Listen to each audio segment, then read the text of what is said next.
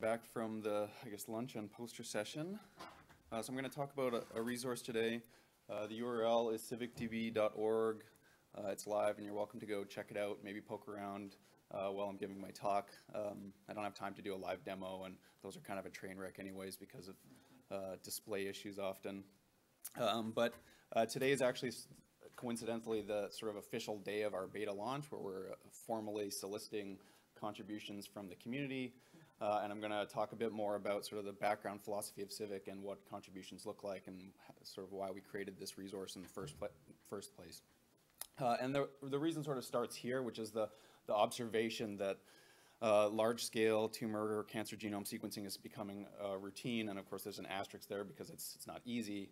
Uh, it's still very technically challenging, but a lot of places are doing it. Uh, there are hundreds, if not thousands, of centers around the world that have high throughput sequencing instruments now. A fair number of these are doing some amount of cancer sequencing, and quite a few of these are repeating each other's efforts with regards to trying to decide what uh, mutations, variants, et cetera, are clinically actionable. Uh, and that's really where Civic comes in.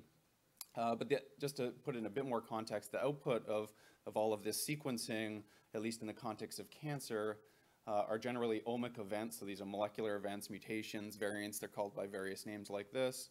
Uh, and they fall into certain categories like single nucleotide variants, uh, in small insertions and deletions, overexpressed genes from, say, RNA-seq, uh, copy number aberrations, uh, structural variants like rearrangements and fusion genes. Uh, and so we've spent a lot of time sort of automating that and becoming quite good at detecting these different types of mutations in tumors. Uh, but something that remains a real bottleneck uh, for us at WashU is the, the, visualization and interpretation of these events, uh, especially in the context of clinical relevance. Uh, so we've gotten pretty good at uh, taking all of this raw data that comes off the sequencing instruments, processing it, identifying these molecular events or mutations, doing a lot of filtering and review and automated validation, some manual validation as well, uh, annotating these mutations with respect to their potential functional relevance or relevance to particular diseases. Uh, but then we get stuck at this sort of uh, interpretation and report generation step where it can take many, many hours to synthesize all of this complex genomic information uh, into a sort of executive summary that you would feel comfortable handing to an oncologist in a clinic, for example, who has maybe at best you're looking at five or 10 minutes of their time that you're going to be able to, uh, to get your hands on.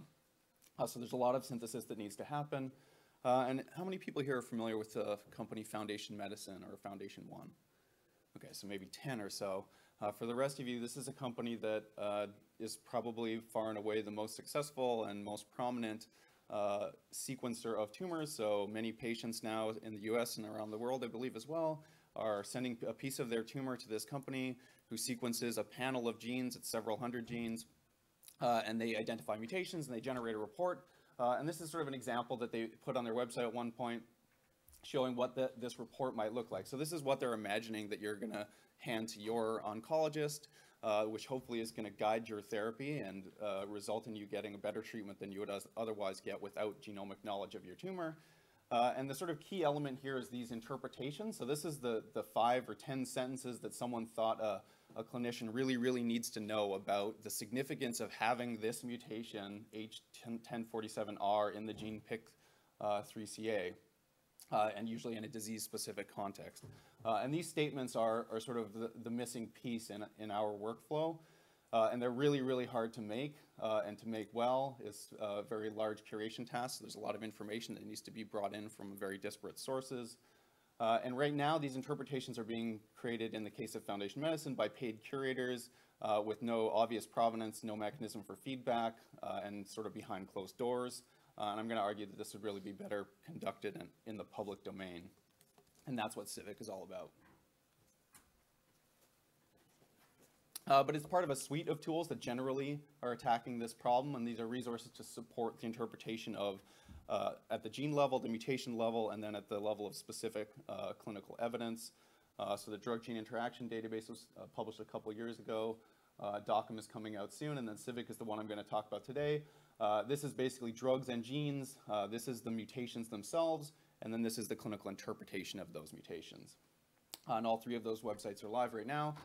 Uh, and the sort of the unifying theme of them that's kind of relevant to this meeting is that they are all open source, open access, uh, and they all have a, a what we believe is a fairly fully featured API to facilitate other people plugging their, these things into their pipelines. Uh, and there are, are some resources, so these are the competitors, if you, will, if you will, of Civic that are out there already. So things like My Cancer Genome and MD Anderson. These are kind of like websites where a team of curators is gathering uh, these interpretations of variants and trying to uh, basically aggregate clinical significance into, into one place.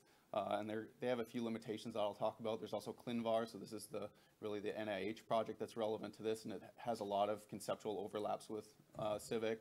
There are a lot of other issues. This is really one of the things that led us to develop Civic. There's people like Rodrigo Dienstmann that spent uh, years building a, a, database in quotations of really, really rich information about uh, clinically relevant variants uh, in a spreadsheet.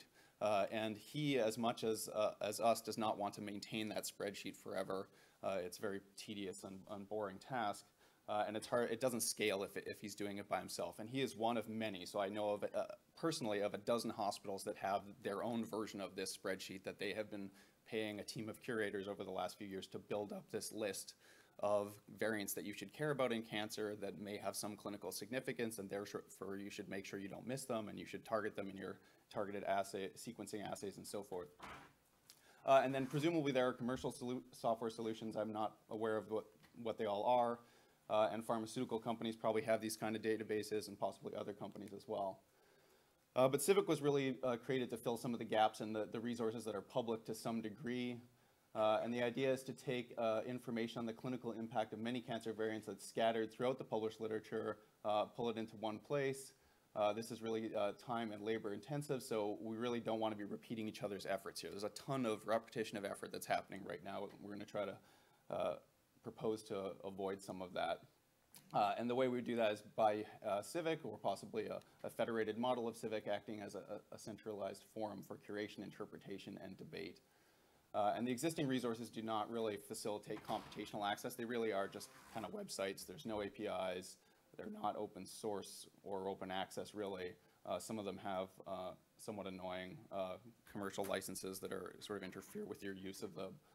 Uh, so we're going to try to get around all those problems uh, and really try to facilitate this automated report generation where you can see the provenance for how these clinical variant statements uh, were created.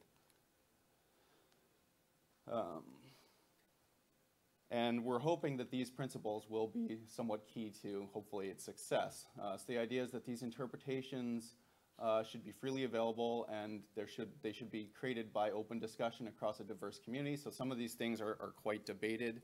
Uh, what the clinical relevance of a variant is is often not, not obvious to everyone. Uh, we're looking for an interdisciplinary approach. So there's some fairly complicated genomics going on here, but it's also medicine, so we need really to get oncologists and genomicists sort of working together on this problem. Uh, above all, the content needs to be uh, comprehensive. Ideally, it's created with transparency, uh, kept up to date. That's going to be one of the challenges. Uh, and hopefully acknowledging the efforts of creators will help to, to stimulate that.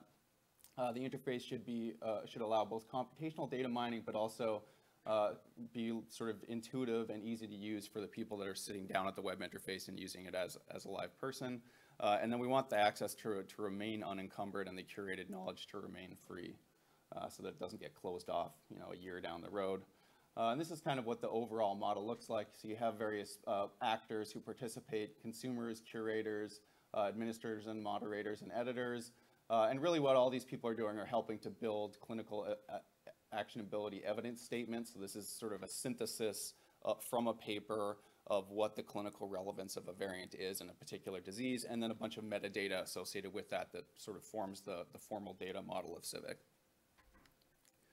And we're hoping that if this works, that CIVIC will be used at, at least at WashU and hopefully other places as well, as if they can, if they can find it useful, uh, to inform and capture knowledge from a precision medicine treatment cycle. So we've been going through this uh, process of identifying patients. Usually these are patients that have exhausted all uh, treatment options. They have terminal cancer, uh, but they have a, a, a, few months or possibly a year to live and they want to try uh, something very cutting edge. So we take a piece of their tumor and we sequence it and we try this sort of Hail Mary. Maybe we'll find something unusual about your tumor that suggests a treatment that you wouldn't otherwise do.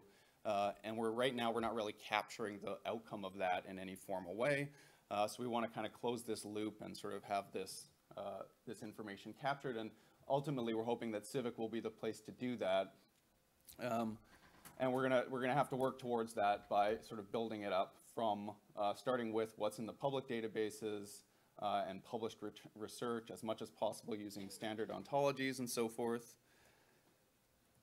Um, and these are the people that we're really aiming at, sort, sort of the initial participants will be, a lot of it will be research scientists. So these are the people that are specializing in the genomics of different cancer types, the experts in sort of uh, telling us what uh, is clinically relevant, uh, what mutations we don't want to miss.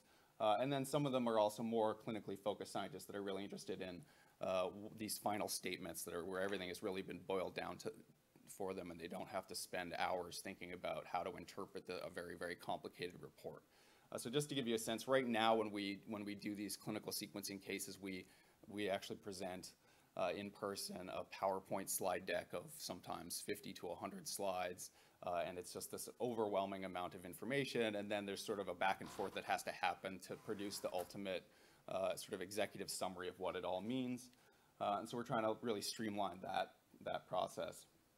Uh, anyone can uh, view what's in Civic right now. You don't have to log in or have an account or anything. If you want to contribute, though, you have to register uh, and become part of the community. Uh, and you're welcome to, to try that out if you if you're so inclined.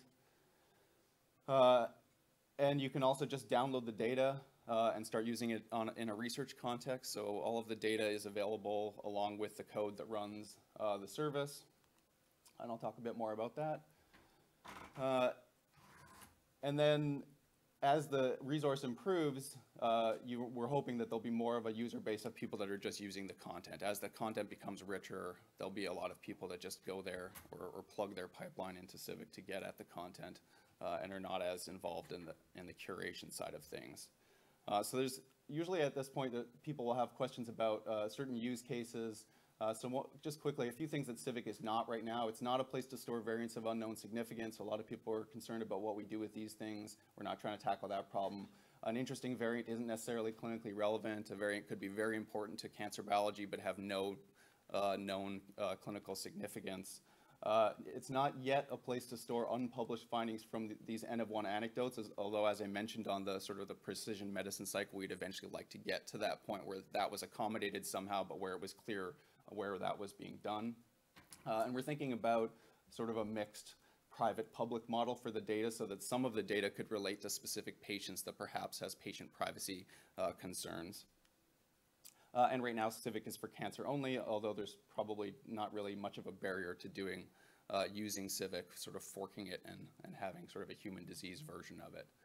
Uh, right now, it's sort of been primed with 500 ev- evidence statements from 230 published resources. So this is the effort of uh, our team of curators con- uh, contributing, and also we're collaborating with a few other institutes who have already done some of the legwork for us, and we're sort of filling in their gaps. Uh, the Civic implementation slide here is just sort of for reference. You'll be able to download this slide later. Uh, really, the only important point here is that it's a it's a client-server model. So everything that you see when you're interacting with the user interface is a client that's hitting a server, uh, and it's all JSON uh, endpoints. So you have a very fully featured example of how you could build your own application that was perhaps part of your pipeline uh, that didn't have uh, U- a UI, but was basically just fit your specific purposes. Uh, you could use the client for to find a lot of examples of how you interact with the, the API because it, that's basically what it does. Uh, and it's all freely available, so the content is released under a Creative Commons license. There's no fees or exclusive access or any of that. Uh, the source code for this uh, server and the client are both on GitHub. I have a version of it running on my laptop right now, so you can spin up a, a complete uh, independent instance of it. The data is even available in the in the GitHub repo, so you can literally create an exact clone of what you see uh, on the website at any time, uh, and the data dump will, will get done on a, a 24-hour schedule. Uh, so you can fire up a local instance, or you can go to the public instance and check it out. Uh, for future work, really planning, uh, as I said, the beta release was today, so this is uh, ongoing. So really need to start playing around with interacting with the community, getting curation uh, done sort of in this collaborative way. Uh, sort of more medium term, we're trying to uh, keep an eye on GA4GH standards that are being developed so that we're compliant with some of the things that they formalize around. And I'll just end with this acknowledgement slide. So this is the team that has developed uh, most of the people that have developed Civic and have done a lot of the curation. Uh, and of course, none of this would be possible without a lot of support from uh, some of our mentors and directors, especially uh, Rick Wilson, Elaine Mardis, and Tim Ley. So thank you. I'll take any questions you might have.